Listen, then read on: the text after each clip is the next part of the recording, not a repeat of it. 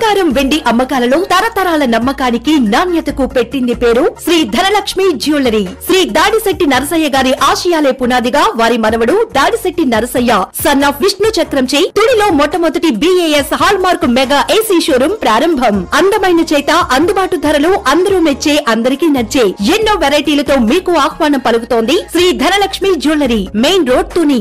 నమస్తే నేను Chandana. Welcome to My Media News.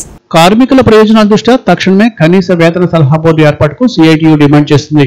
రాష్ట్ర వ్యాప్తంగా డెబ్బై మూడో షెడ్యూల్ ఇండస్ట్రీస్లో సుమారు యాభై లక్షల మంది కార్మికులు చాలీ చాలీని వేతనాలతో దుర్భర జీవితాన్ని గడుపుతున్నారని ఆవేదన వ్యక్తం చేసిన సిఐటియు నేత. రాష్ట్ర వ్యాప్తంగా డెబ్బై మూడు షెడ్యూల్లో ఇండస్ట్రీస్లో సుమారు యాభై లక్షల మంది కార్మికులు చాలీ చాలని వేతనంతో దుర్భర జీవితాన్ని గడుపుతున్నారని ఆవేదన వ్యక్తం చేసిన సిఐటియు వేతన సలహా బోర్డు ఏర్పాటు చేయాలని కోరుతుంది. ఇదే డిమాండ్తో శ్రీకాకుళం కార్మిక శాఖ కార్యాలయం ఎదుట సిఐటియు ధర్నా నిర్వహించింది. ప్రభుత్వ ఉదాసీన వైఖరి వల్ల ప్రతి నెల వెయ్యి కోట్లను కార్మికులు నష్టపోతున్నారని నేతలు అన్నారు.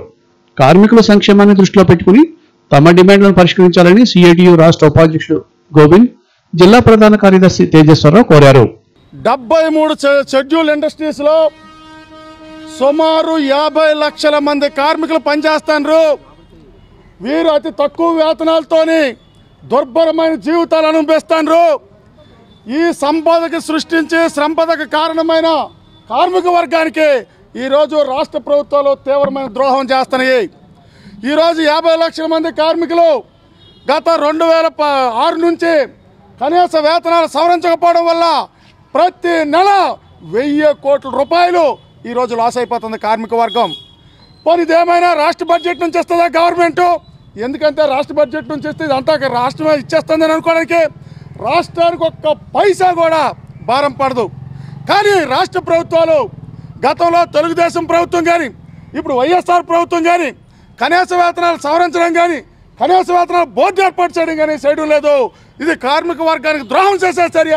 కార్పొరేట్ వర్గాలకి పెట్టుబడిదారు వర్గాలకి ఇవాళ కొమ్ము కోసే చర్య చేస్తున్నాయి. ఇవాళ మేము ప్రశ్న రాష్ట్ర ప్రభుత్వం ఉన్నప్పుడు కూడా ఈరోజు సుమారు యాభై లక్షల మంది కార్మికులకు సంబంధించిన సమస్య మీద రాష్ట్ర ప్రభుత్వం చాలా నిర్లక్ష్యంగా వ్యవహరిస్తుంది. ఈరోజు కార్మికులు కనీస వేతనాలు సవరించకపోవడం వల్ల అతి తక్కువ వేతనాలతో కార్మికులు దుర్భరమైన జీవితాలు అనుభవిస్తున్నారు. అలాగే విద్య వైద్యంతో సహా కనీసం ఈ కరోనా టైంలో పౌష్టికాహారం తినమని చెప్పి ప్రభుత్వాలు ప్రకటిస్తున్నప్పుడు కూడా ఒక పూట కూడా వేతనాలు సరిపోయిన పరిస్థితుల్లో కార్మికులు తీవ్ర ఇబ్బందులు ఎదుర్కొంటున్నారు. అందుకని రాష్ట్ర వ్యాప్తంగా ఈరోజు అన్ని లేబర్ డిపార్ట్మెంట్ల దగ్గర కూడాను కార్మికులు ఈరోజు నిరసన తెలియజేస్తున్నారు. ఇప్పటికైనా సరే రాష్ట్ర ప్రభుత్వం కార్మికుల పట్ల కనీస బాధ్యత ఉండేటట్టయితే వెంటనే రాష్ట్ర ప్రభుత్వం కనీస వేతనాల సలహా బోర్డు ఏర్పాటు చేసి వెంటనే మొత్తం రాష్ట్రంలో ప్రధాన పట్టణాలతో పాటు గ్రామీణ ప్రాంతాల్లో పెరిగి